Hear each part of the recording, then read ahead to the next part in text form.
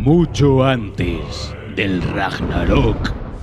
Antes de que Jormungand se arrastre fuera del océano y envenene los cielos, un padre y su hijo desafiaron a los todopoderosos dioses nórdicos y desataron su ira.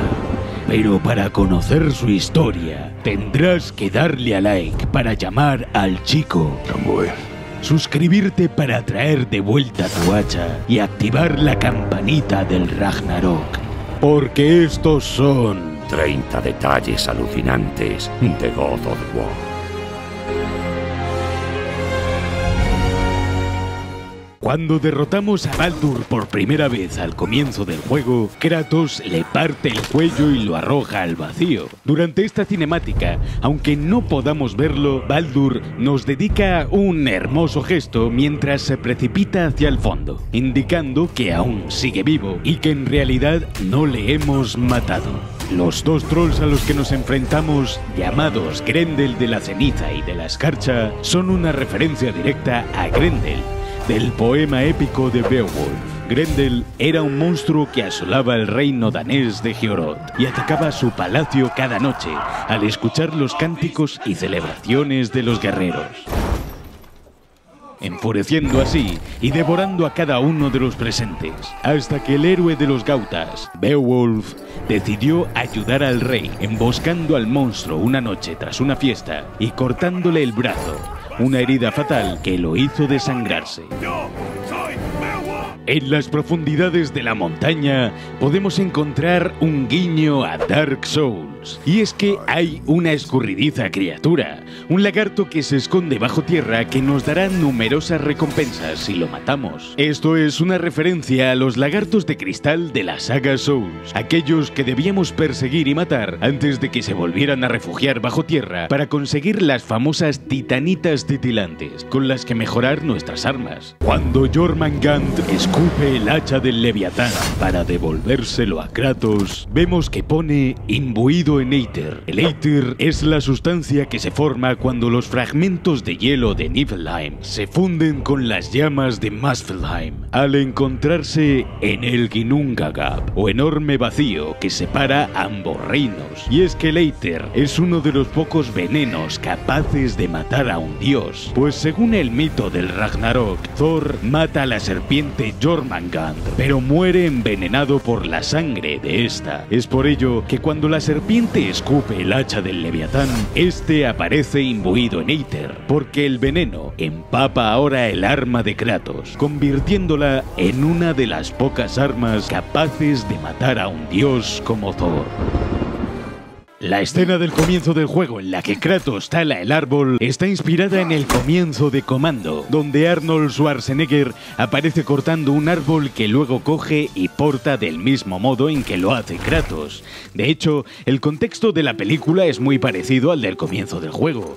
Un padre y su hija buscan escapar de su pasado y vivir en paz, hasta encuentran un ciervo, solo que Atreus no será tan benevolente con el animal.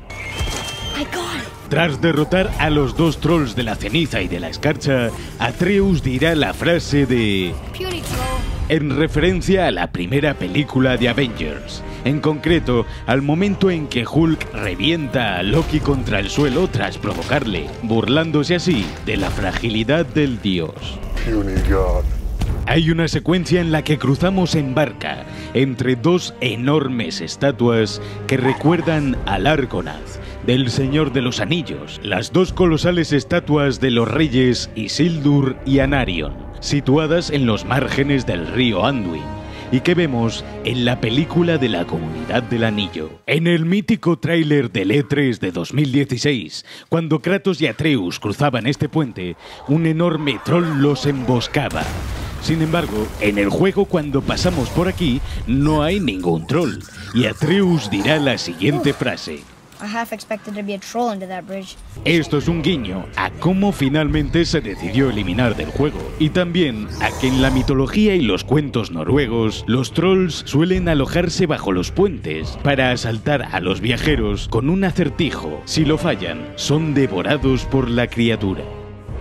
El actor que da vida y pone voz a Kratos en la versión original de God of War es Christopher Judge, y esta palabra que dice Kratos en un punto de la aventura es una referencia directa al personaje de Tialk, que interpretaba el mismo actor en la mítica serie de Stargate SG-1 y que repetía esa misma palabra constantemente. Los ítems y coleccionables que vendemos en la tienda de Sindri y Brock aparecerán expuestos en todas y cada una de las estanterías de la misma, a medida que vayamos vendiendo estos objetos. Un detalle omitido por muchos jugadores durante su primera partida. Magni y Modi son interpretados en la versión original del juego por Nolan North y Troy Baker, que ponen voz también a Nathan y Samuel Drake en la saga Uncharted. En la mitología nórdica, Modi significa ira y Magni poderoso, aunque Modi siempre estuvo a la sombra de su hermano mayor, pues Magni ayudó a su padre Thor liberándolo del peso que ejercía el gigante Hrungnir sobre el cuello del dios del trueno cuando cayó muerto sobre él, y ambos hermanos sobrevivieron al Ragnarok en las leyendas, heredando el mítico martillo de Thor llamado Mjolnir. Kratos conserva las heridas y las cicatrices de los anteriores juegos, desde la cicatriz del pecho que se autoinfligió con la espada del Olimpo hasta las marcas que le dejaron en los antebrazos sus viejas espadas. De hecho, antes de acabar con Baldur, Kratos le dice una frase muy parecida a la que Zeus le decía a Kratos cuando lo mata en la segunda entrega. También encontramos una vasija con la skin de Kratos del miedo y su apariencia roja y negra, e incluso una conversación entre Atreus y Kratos donde el espartano recuerda a las hermanas del destino. Pero la referencia más emotiva es la del mítico capitán de barco del primer God of War, del que siempre hemos encontrado un easter egg en la mayoría de entregas de la saga. Y es que en el Lago de los Nueve podemos encontrar los restos de un naufragio que desbloquean una entrada en el diario sobre la llave del mítico capitán de barco que cogía Kratos del cuello del desafortunado capitán. También se nos explica que uno de los tripulantes de aquella nave se hizo con dicha llave, con la que viajó hasta las tierras nórdicas, donde el barco se hundió junto con la apreciada posesión. Por último, cuando Kratos recupera las espadas del caos, la ropa en la que éstas están envueltas parecen ser parte de la tela de la falda que usaba Kratos en la trilogía original. Cuando Atreus usa la ira espartana y se queda inconsciente, Kratos activa la suya para contrarrestar el ataque de Modi. Pero cuando Kratos toca a su hijo y lo recoge entre sus brazos, la ira espartana se desvanece, un acto reflejo del instinto paternal de Kratos al velar por la seguridad y el bienestar del pequeño.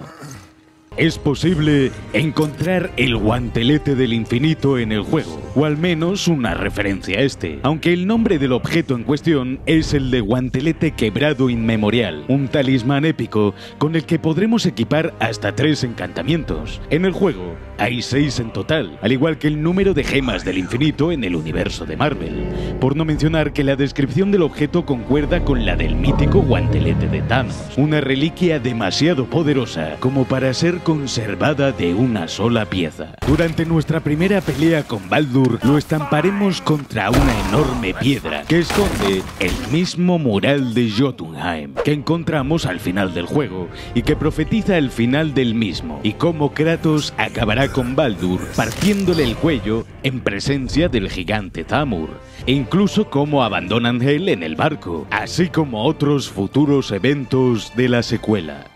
La enorme serpiente del mapa de tela de la edición coleccionista tiene runas a lo largo de todas sus escamas, que traducidas revelan que Sindri y Brock, los dos herreros, forjaron un tesoro que con el paso del tiempo olvidaron dónde fue escondido, algo que separó a ambos hermanos. En la torre de Muspelheim, si nos ponemos en el centro del círculo del suelo y miramos en el orden correcto al templo de Tyr al norte y a los dos braseros, escucharemos una campana. Entonces, ante se abrirá un vórtice del que obtendremos ese legendario tesoro, que es el mejor pomo del juego, ya que mejora todas las estadísticas.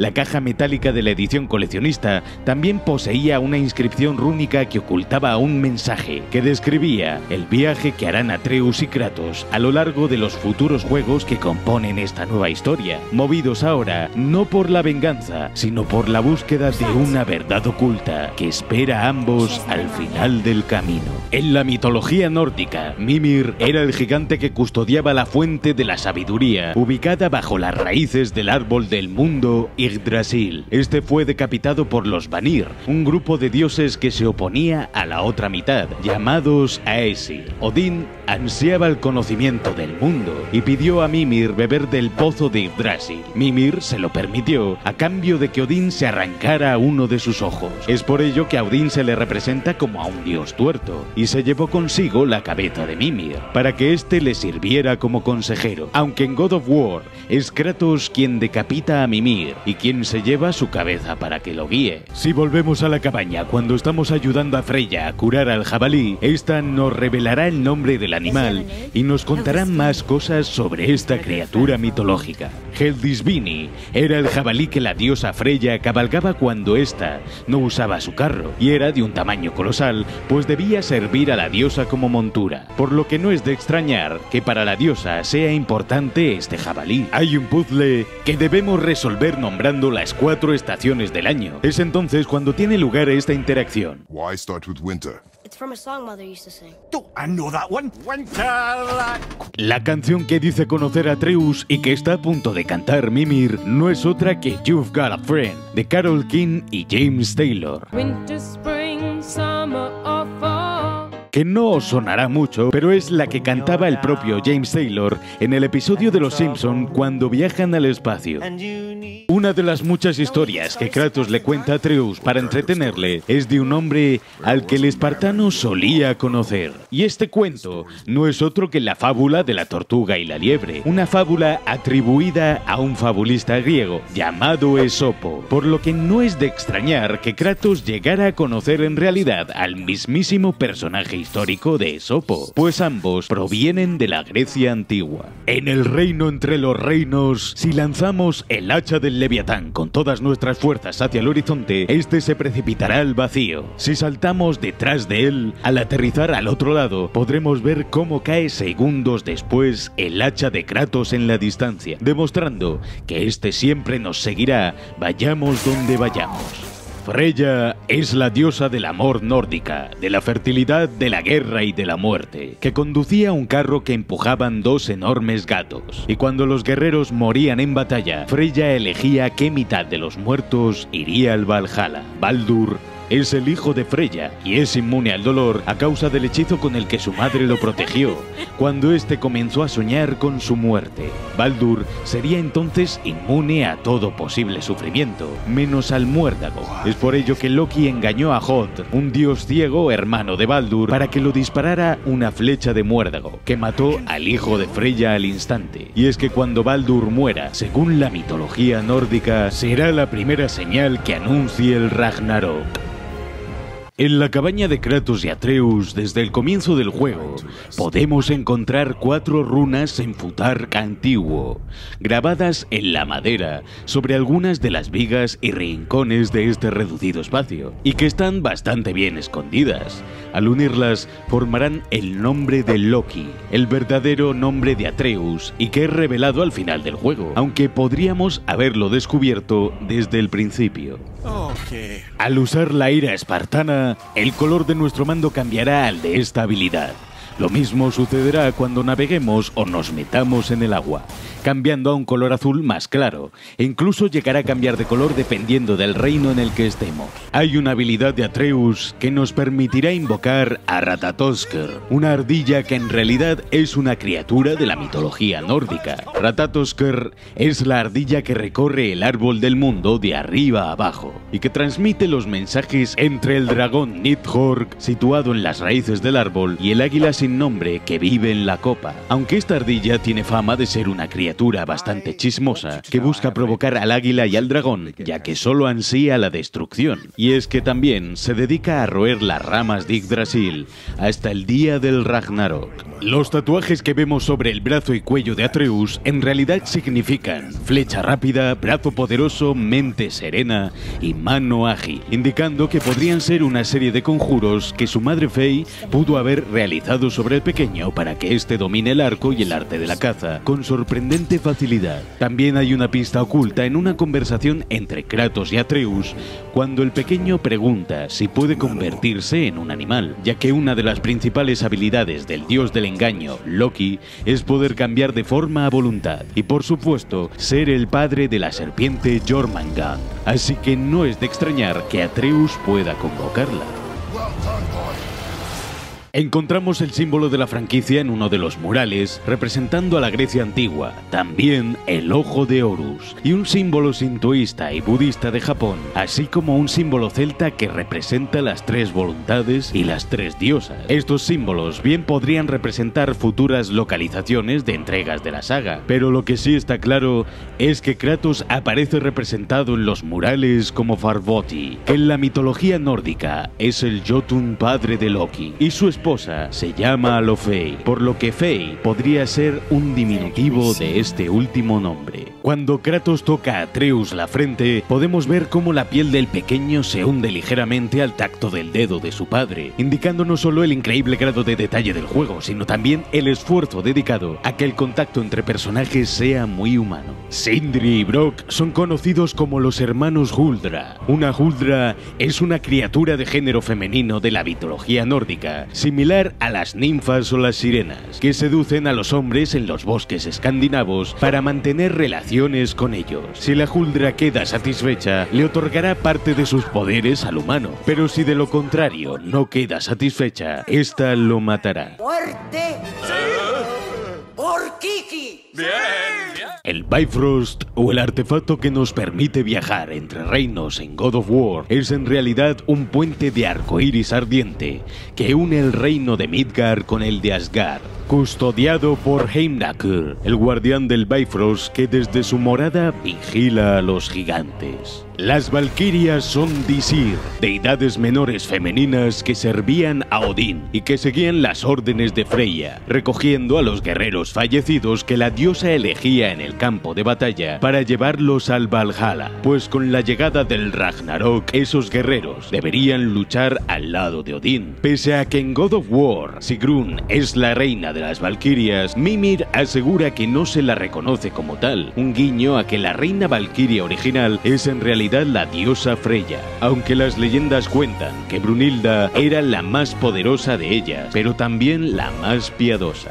La muerte de Baldur anuncia la llegada del Ragnarok. Un invierno tan largo como tres inviernos asolará la tierra. Los lobos Kol y Hati devorarán el sol y la luna, y la tierra se sumirá en la más profunda oscuridad. Loki y el enorme lobo Fenrir serán liberados. Jormungand se levantará de las profundidades del océano, inundando la tierra y llenando el cielo de ponzoña. Los gigantes de escarcha se unirán a Loki y a los gigantes de fuego de Muspelheim contra los dioses. Odín cabalgará hacia la batalla con todos los guerreros del Valhalla. Yggdrasil se estremecerá y sacudirá el mundo. Thor matará a la serpiente Jormungand y morirá envenenado. Y Odín será devorado por el lobo Fenrir. Pero con lo que no contaban los dioses nórdicos es que el fantasma de Encarnaría el Ragnarok que estaba a punto de cernirse sobre ellos.